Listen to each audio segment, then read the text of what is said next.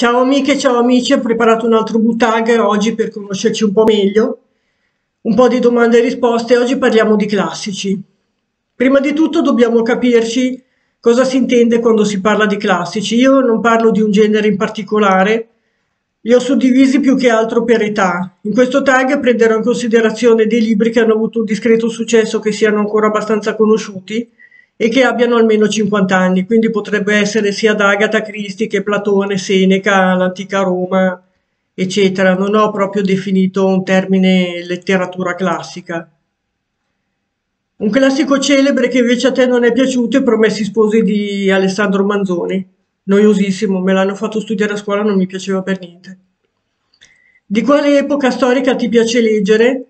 L'antica Roma, assolutamente l'antico Egitto. Il Medioevo mi interessa poco, mi annoia, anche se ho letto ad esempio i Pilastri della Terra, Mondo senza fine, eccetera, molto belli, ma l'antica Roma all'epoca dei Cesari mi appassiona di più. E poi mi interessa la storia più recente, dal Rinascimento in poi, 700, 800, l'epoca contemporanea. Numero 3, la favola o la fiaba preferita, Alice nel Paese delle Meraviglie, Pinocchio e i Viaggi di Gulliver. Qui ho questa è la versione in inglese di Jonathan Swift. Alice nel Paese delle Meraviglie. Ecco, ce l'ho ancora. Questo libro ce l'ho da quando avevo 5 anni, è ancora nuovo.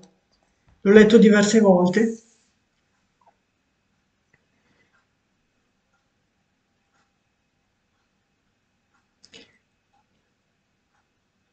Un classico che ti vergogni di non aver ancora letto? Un classico che ho cercato per molto tempo, lo volevo assolutamente da appassionata di antica Roma, era questo, La vita dei Cesari di Svetonio, che non ho ancora letto, sono anni che l'ho in casa, non l'ho mai letto. È un libro che mi appassiona tantissimo e, e poi non l'ho ancora cominciato. Come sempre, compro i libri, poi rimangono lì anni sullo scaffale. I cinque classici che vorresti leggere al più presto, un autore che ho scoperto piuttosto, purtroppo piuttosto tardi e di cui vorrei leggere tutto è Oscar Wilde. Penso che mi manchino ben più di cinque opere perché ne aveva scritte diverse. Ho letto Il ritratto di Dorian Gray, Il fantasma di Canterville e altri racconti e fiabe di cui tra l'altro vi avevo già parlato in un altro video. Eh, mi piace tantissimo e ammetto di non aver ancora letto un granché di questo autore.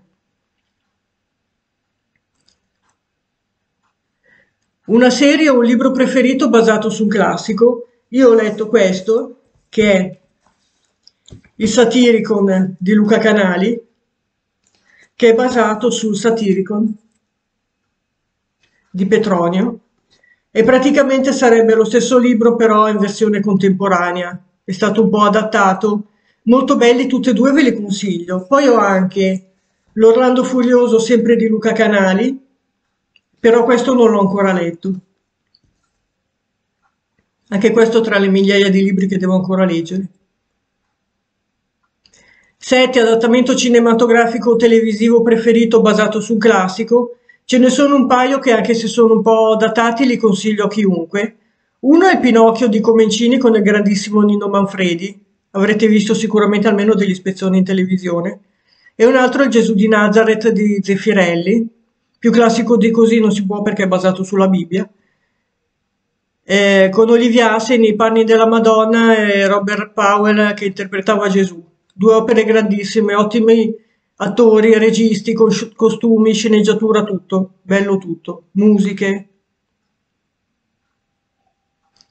Il peggior adattamento cinematografico di un classico è televisivo, non è cinematografico, però direi Promessi Sposi del trio Marchesini, Solenghi e Lopez, che però era una parodia, uno scherzo, eh? adesso non sapevo cosa dire, ho messo questo, ma è uno scherzo. Edizioni preferite di classici che vorresti collezionare, non colleziono libri, per cui non, non ce ne sono. 10. Un classico sottovalutato che consiglieresti? Di Cicerone consiglierei a chiunque questo, il De Senetute il De Amicizia, non sono sottovalutati ma li legge solo chi ha fatto il classico.